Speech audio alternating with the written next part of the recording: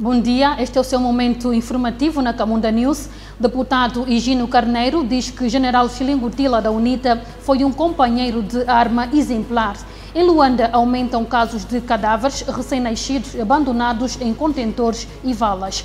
A União Europeia já não reconhece Juan Guaidó como presidente interino da Venezuela. Daqui a pouco, o desenvolvimento destas matérias.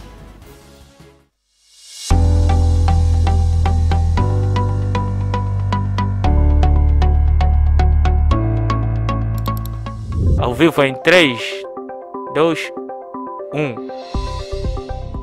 Sejam todos bem-vindos ao nosso especial entrevista. Produção de conteúdo digital, filmes comerciais, documentários, reportagens, cobertura de eventos e transmissão ao vivo.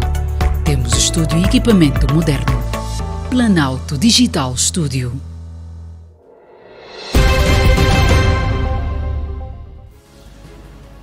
O general e deputado do MPLA, Gino Carneiro, sublinhou na sua página do Facebook que foi com profunda dor que tomou conhecimento do falecimento do general e político da UNITA, Demóstenes Amos Xilingutila, com quem, na companhia de outros companheiros, abordou pela primeira vez o melhor caminho para a cessação das hostilidades militares entre a UNITA e o governo em maio de 1991. Entre outras, Gino Carneiro escreveu: Neste momento de dor para a família castrense, não posso deixar de manifestar a minha consternação pelo facto de, com o ele, general Silingutila, ter trabalhado e partilhado momentos bons e maus na constituição e formação das Forças Armadas angolanas, edificadas no âmbito dos acordos de paz de Bicesse. Foi um companheiro de armas exemplar e determinado no cumprimento das disposições politicamente aprovadas para o efeito, recordou Higino Carneiro. Também o ministro da Defesa Nacional e Veteranos da Pátria, João Ernesto dos Santos,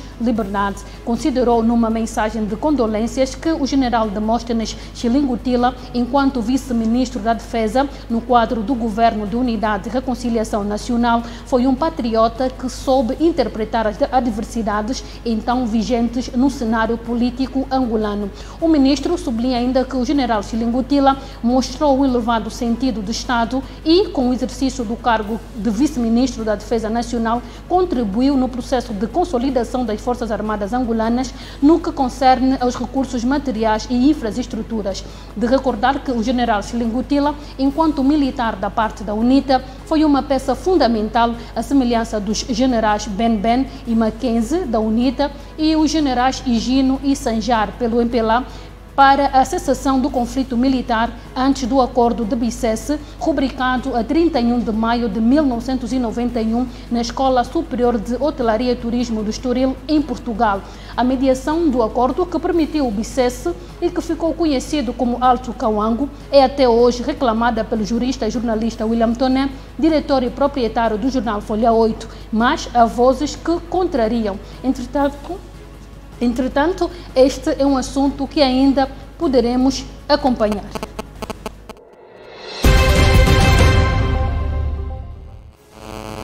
O número de casos de recém-nascidos mortos e abandonados em contentores e valas de drenagem aumentou consideravelmente na cidade de Luanda. A constatação é do Serviço de Proteção Civil e Bombeiros, que se considera preocupado, dado que, segundo os seus cálculos, de dezembro até a presente data já foram registrados 11 casos. No último fim de semana, por exemplo, o Serviço de Proteção Civil e Bombeiros realizou duas remoções de cadáveres de recém-nascidos em contentores de lixo nos distritos uh, do Sambizanga e Maianga. Falando a Camunda News, o porta-voz daquela instituição, Faustino Minguens, revelou que as idades dos cadáveres variam dos 0 aos 2 meses de idade.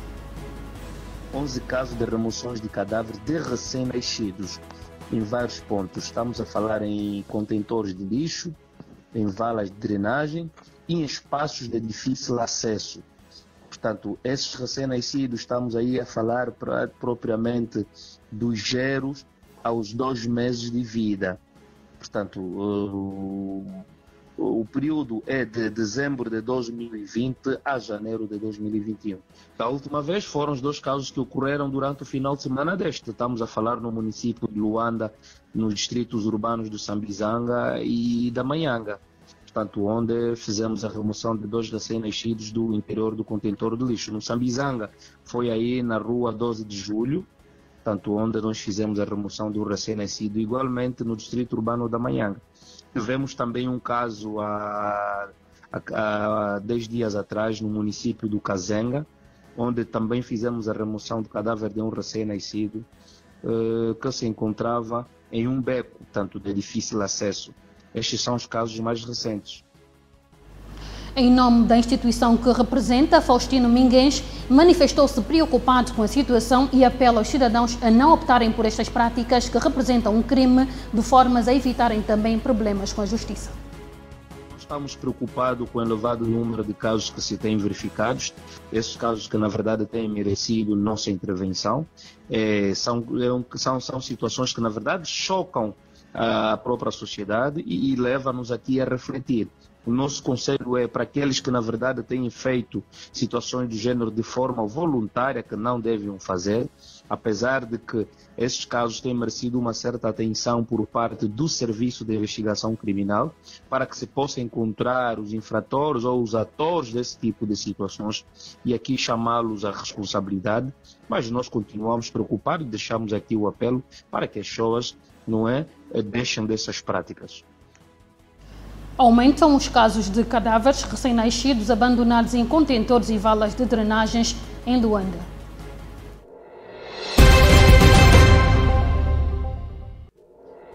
Seguimos países europeus que, desde janeiro de 2019, reconhecem Juan Guaidó como presidente interino da Venezuela, decidiram deixar cair o reconhecimento da, na tarde de ontem, um ano depois de terem alimentado a esperança ao líder da oposição venezuelana. Quando se declarou presidente do país, Guaidó era presidente da Assembleia Nacional daquele país e Nicolás Maduro, o chefe de Estado de facto, contestou a postura dos países do bloco europeu, mas deixou claro que a vontade europeia de alegadamente se imiscuir os internos de outros países não deveria vincar na Venezuela. E, como contrapeso à força europeia, a Rússia, a China e o Irão declararam apoio a Maduro. A Rússia, numa clara demonstração de força, enviou militares e equipamentos militares de última geração à Venezuela, visando defender o amigo Nicolás Maduro. Ao fim de um ano de ameaças de invasão militar por parte dos Estados Unidos e sanções econômicas, Nicolás Maduro resistiu. A União Europeia acaba de tirar o apoio a Juan Guaidó e passa a considerá-lo apenas como um interlocutor privilegiado.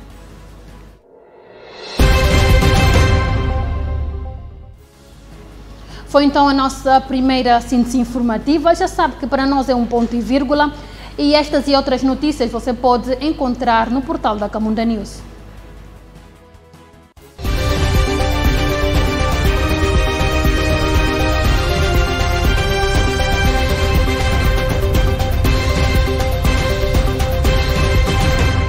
Camunda News. Informação atualizada e cidadania.